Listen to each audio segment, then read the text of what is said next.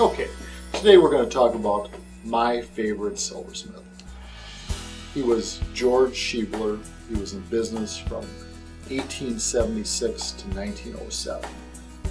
He was the rebel of the silver industry. He made shapes and pieces that were outrageous. They were unusual. They were startling. And um, today, his things are very sought after.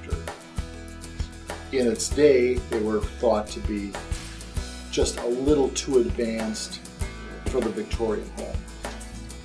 I've talked to um, quite a few people over the years who admired Schiebler. I've talked to two people uh, who over the last several years have said they're writing a book about Schiebler. Whether these books ever come out, I don't know. I've actually reviewed part of one. It, it was, it's got some very good information in it. But here this wonderful American silversmith, and here it is 2010, you know, 100 years after uh, the demise of this company, and there's still no book on Schiebler. It, it's, um, you know, I think in coming years, when the, the book is written by somebody, Schiebler will be recognized and even more sought after than he is today. Okay. Uh, probably Schiebler's greatest accomplishment uh, was his um, Etruscan pattern. And uh, this, this is the pattern. It's, it's a medallion pattern. And medallion was, and I was really one of the first American ideas. In the 1850s and 1860s, silversmiths would take the heads of Romans or other ancient warriors and put it on the top of a pattern and um, you know sell silverware. All the major companies did it. It was you know it was a it was a big thing. It was something new and different. It was popular. By the late 1870s, it was yesterday's news. Medallion was not popular anymore. There were, you know, new exciting things, um, you know, that were taking its place. And Schiebler decided, I'm going to come out with a medallion pattern. It was thought to be crazy, you know. Why would someone want to do something that's been done? But anyway, he had a whole new slant on. He wanted his silver to look like it had been used in ancient Pompeii after the um, volcano erupted in the year 79 BC.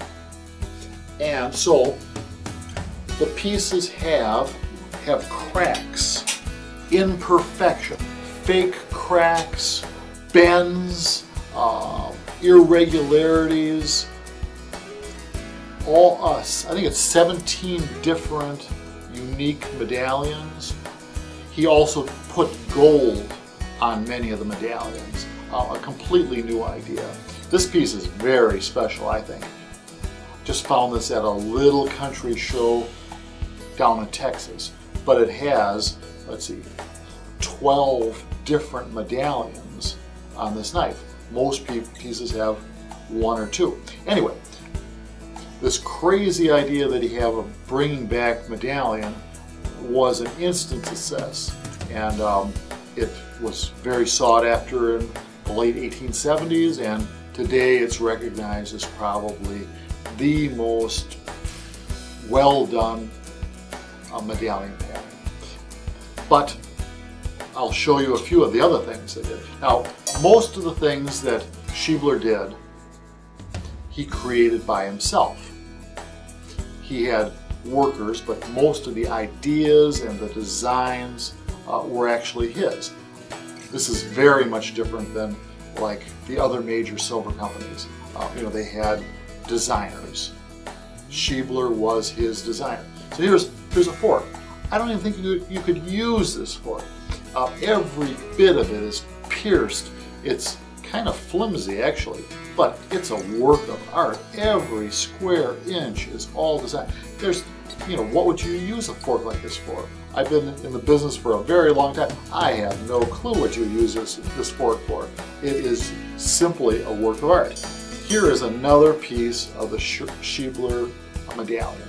And this is one of the pieces with the gold um, medallion. On the back, indeed, it does say plus 14 karat. Here is an ice cream server.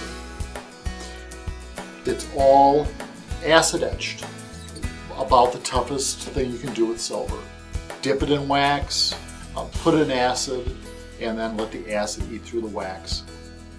Beautiful flowers, nice weight. Again, unique design. No one else made a um, ice cream server that looked anything like this. And it actually fits very nicely into the hand. Here is a fork with a, a big knife, knife on it.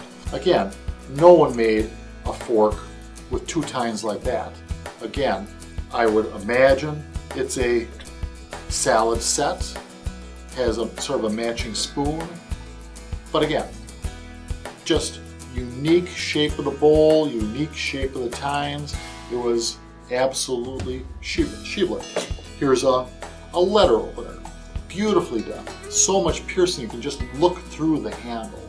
Uh, it's, it's a work of art. Here is a child's plate that was done about a nursery rhyme. And again, it has gold lions, it has a wolf, it has a copper snake that's sneaking through the grass. You know, very, very excellent work. Very unusual. He was the rebel.